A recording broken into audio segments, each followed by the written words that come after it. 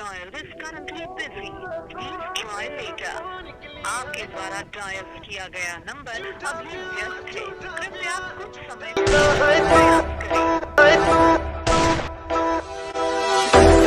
मेरी समझे अपने आप मगर दुखी की कर दी